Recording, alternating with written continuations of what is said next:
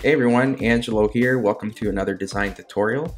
Today we're going to be focusing on branding design, looking at how to lay out and design a letterhead for a company, as well as a two-sided business card. These are two key components to any brand identity, so it's important for you as the designer to create them in a concise, simple way uh, that represents the brand that you're designing them for. So as you can see on my screen here, I created a um, letterhead with key components such as the logo, as well as other key information that you want to include. Uh, same goes for the business card. And because you're working on such a limited amount of space, it's important when you're designing business cards to keep the information um, clear and concise as well. You don't want to start cluttering your business cards. Um, it just will it'll it'll make it uh, more distracting and people will just not even look at it. So let's actually just get into it today. I'm just going to go up here and I'm going to show you that I've created the back side of a uh, letterhead. Okay, so you can come up with a cool pattern, something that rep represents your brand. So brand identity doesn't stop at just the logo design. Afterwards, you're going to have to look at patterns, colors, typography. And these are just things that I've made up on the fly here. Um, so I took the icon from the mark, the logo, and I created a cool pattern with it. So we'll get into that. And then there is the, uh, the letterhead itself. Okay, I'll put my guides on there. All right, so again, very clean, simple, easy design, okay? And that's what, in the end, will, will stand out above the rest. So let's go to page three here. And I'll show you what I did. First things first, I'm gonna go to my layers, click on backgrounds. So any background that I do will work off this layer. I'm gonna go to my rectangle frame tool, click, drag, hold, draw out a box that is the entire page. Let's make it black for now. Go to swatches, black, and I made the tint, or I made it 95% black. X. Okay, so there's that.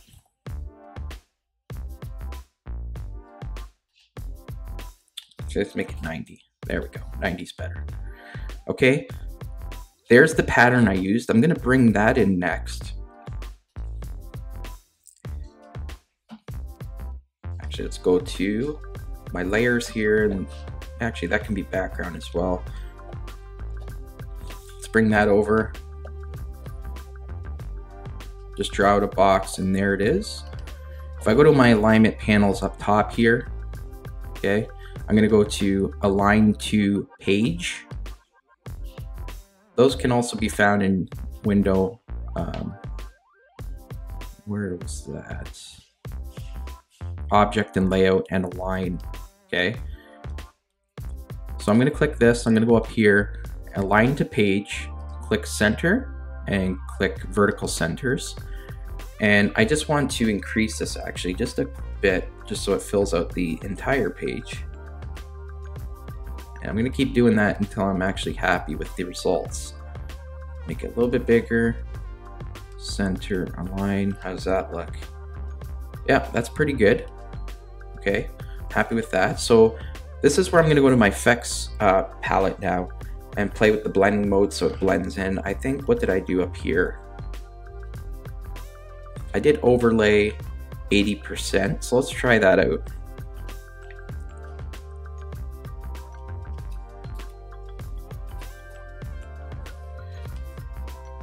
So it's the same result there, as you can see up here. Same result. So you got all, all of a sudden you have a cool pattern that's based off your brand just by taking the logo uh, icon from the mark and making a cool pattern from it. So try something like that, or maybe your brand has a specific pattern that it uses, okay? I'm just going to copy this logo here. Again, I just took that, that icon out and made it larger. And I'm just gonna go over here and do Shift, Option, Command, V. That is paste in place. So if you ever copy something from another page, and you want to take it to another page, Shift Alt Command V or Shift Alt. So sorry, Mac is Shift Option Command V. PC is Shift Alt Control V. Okay. And that will place it exactly where you grabbed it from a previous page. So essentially, let's just assume that that's that's complete. Okay. So that's the back side of a letterhead. Going to the other side now. All right. This is where there's a little bit more thinking and a little bit uh, more planning involved. So I'm just going to be using placeholder text for today. I'm going to grab my type tool on the side here and let's draw out a box like so. And let's just make sure that I'm working off my type layer there. Okay.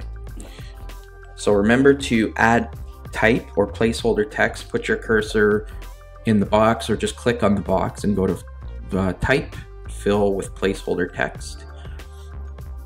Okay, so right now my text is aligned left, ragged right, which is fine. I'm actually going to show you how to add indents to this, okay? Because there should be some kind of indent to the paragraphs. Let's select all. Let's go to paragraph. If you don't have your paragraph window open, again, it's window, um, actually, I'm sorry, type and paragraph, okay? That will open up the paragraph window. Select all your text. And in my window here on the second field on the left, there's something called first line indent. Let's click that until you get to about 0.125. As you can see, that changes all the indents to all my, my paragraphs, which is, is good. I'm happy with that. I'm going to make this type, what did I make it up here? Didot. Let's do that. That's a good classic serif font, D-I-D-O-T. And I don't want it to be bold, just do regular. That looks pretty good. All right, good. So there's your body. All right. Now let's just say I want to specifically send this to somebody. Again, create another box up here. And let's just say, um, what did we call this this girl up here? Amy, dear Amy. Amy Johnson. And then we could just make up a, uh, an address, okay? Amy Johnson. Okay, and she lives in Toronto. Um, actually, it's 1876 Bloor Street, Toronto, Ontario. Now, the typeface in my logo is um, Montserrat. So let's go with that. It's a really cool sans serif font, Montserrat black. Um, let's try bold. Okay, so that's a cool, I like that. And then let's just do a couple paragraph breaks and just say dear amy comma and then there that's where your body text would go good so it's already starting to take shape here and just going back to what i created up here yeah with best regards and then we show you how to put signature first thing i want to do actually is just click this top box hold down option or alt and just make another copy and let's bring that down here and let's just put my name for now, Angelo Montilla. And I am the CEO. How about president? President slash CEO? Sure. I'm just going to bring this up because I'm going to need, just going to cut this down a bit. I'm going to need some space there. Okay, let's just period, perfect. Okay, bring that up. So there's my title. Okay, and I'm going to just create another box here. And let's just say, how about with warm regards? That sounds good. Comma. We got to make that Didot. D I D O T. Regular. and then try to line everything up on a guide. Warm regards. Perfect. Now let's just say I wanted to add my signature in there, okay? In InDesign, you can go to the pencil tool here and on your keyboard as a shortcut. And I guess you could try to use it with your mouse. That's kind of difficult to do, but if you have a steady hand and you want to do your signature with your mouse, you can do that. I'm just gonna switch over to my tablet here. And I'm just gonna, on the side here maybe, let's, um, let's do a signature here. Oh, I can't grab my pen tool again. Try that again. Okay, so let's just say that's my signature. I'm just gonna revert back to my mouse here. I, because I did this in two different strokes, they're two different boxes, okay? So what I usually do is I just collect both of them and then I would just do Command G or Control G to group it. You can also, before you do that, collect them and then increase, go to your swatches and make sure there's no fill on that. So click on the fill box and hit none because these areas in, in your signature will fill with white and you don't want that. I'm gonna click on, um, select both of them and go to my stroke window and you could increase the stroke weight. That's a little too thick. I think one point is fine. So I'm gonna group them, Command G, Shift Command and scale it down. And then place it in an area where you leave some white space. As you can see, my smart guides there telling me that where I've placed my signature is equally spaced between with warm regards and my title, my name and title. So why don't we leave it there for now? And then you can always go back and make it a little bit bigger and then play around with it. You could also rotate it just to make it, um, depending on how you write your signature, but I'll leave it like that for now. Okay, so there you go. I quickly put in some body text, altered the indents. I put in the name and the address of the person that it's being sent to. I gave a nice warm regards. I added my signature and my name and title. So what else do we need? Let's put in a logo, okay? So I have a version of that here. Um, that? Let's try this one. Just drop it in. Okay. I'm just gonna zoom in, cut it, make sure that I'm on the right layer when I'm doing this, logo, V, Okay, and I'm just gonna bump it up. Remember, shortcut for resizing images, option command greater than on a Mac. Alter that box a bit, and then I want my logo down here maybe.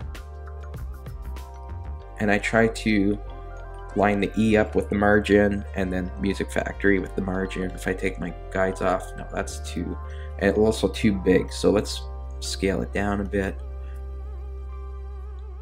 And maybe, maybe it doesn't have to be on the margin, something like that.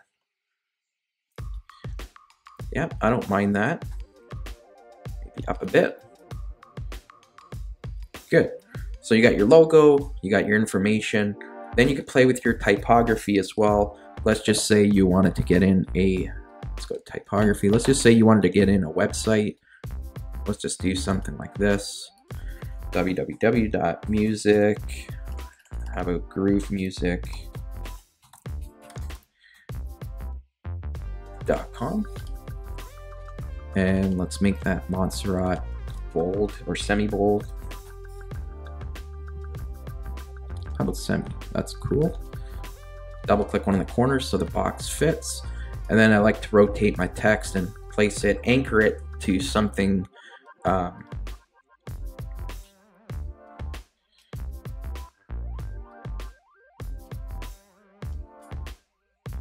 maybe anchor it to the top of Dear Amy or one of the guides. Also, it's too little too big at 12 points, so I'm gonna make it uh, yeah, make it 10. And then you can also select all and then just flush right. Okay. And then you could also just copy it. Let's just say you had another. Remember when you're rotating, if I'm rotating, hold shift to constrain it to um, 45 degree angles. So there's 90. There we go. Let's just leave it at zero. And then you could put another one up here, something like that. Okay, so you get a good flow of your type around the page as well. And there's still a lot of good negative space here that it's not cluttering the page at all.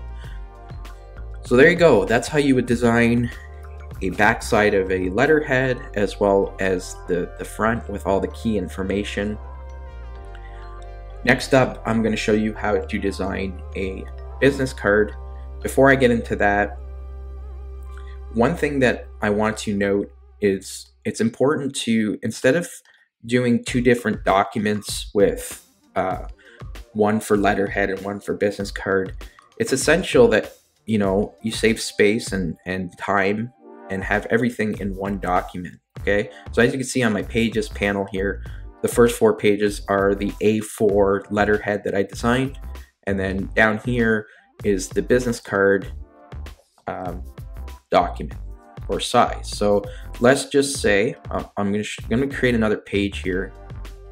Okay, so when I create another page, because this document initially began as an A4 document, it's going to revert to an A4 page. So if I double click that page and I go over here in my tools uh, palette and let's click the page tool. I'm going to click the page tool and click on that page. You'll notice I could if I wanted to, just change the size of that page. Okay. Or even better, if I click double click that, I can actually change the page up here. So if I wanted that to be an A4, I could do that as well. Okay. So let's just go back.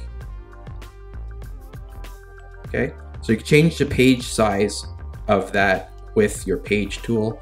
Click on that and then just change it from here. Okay, so I'm going to do the, the business cards in a different uh, video. Um, hope you enjoyed this and we'll talk to you soon.